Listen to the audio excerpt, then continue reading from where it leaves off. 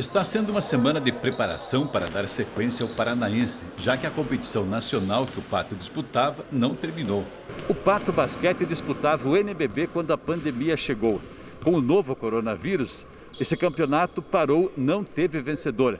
Para retomar as atividades, que o Paranaense começou a semana passada, o Pato teve que contratar seis novos jogadores porque havia perdido a metade da equipe. Venceu as duas primeiras do Paranaense, em Londrina e Maringá. E nesta sexta-feira recebe aqui em Pato Branco o Campo Mourão. Se vencer, garante o primeiro lugar e o direito de disputar o quadrangular final em casa. Querendo ou não, é uma vantagem grande a gente sair em primeiro do grupo, para a gente não ter que mais viajar, jogar semifinal e final em casa. Para o técnico, os novos atletas estão alinhados com a proposta do Pato Basquete. Pela pandemia, eu acho que todo mundo teve que se adaptar um pouquinho, né? Então a gente, a gente focou bastante em termos de jovens, né, em dar oportunidade para os jovens. Né? A gente perdeu alguns jogadores né, para alguns times aí grandes, maiores, né? mas a gente fez a opção para estruturar cada vez mais em termos de projeto e dar oportunidade para os novos.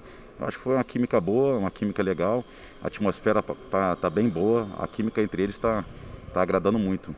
Entre os jogadores novos está o Ala Gabriel, que é de Pérola do Oeste, aqui no sudoeste do Paraná, mas atua em grandes equipes como Cerrado de Brasília e Uberlândia. Está melhorando a cada dia, a gente está pegando bem o sistema que o Dedé está passando.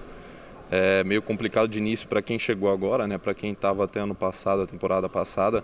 Está é, tá um pouquinho mais dentro do sistema, mas para quem está chegando agora está entrosando e está tá dando tudo certo.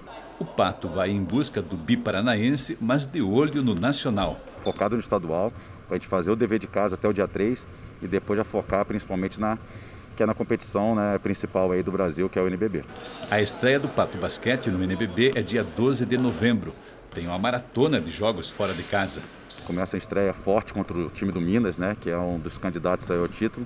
Né? Então a gente já faz cinco jogos direto, né? dia 12, 14, 17, 19 e 22. Então a gente vai para o Rio, depois de Mogi, joga cinco jogos em 10 dias.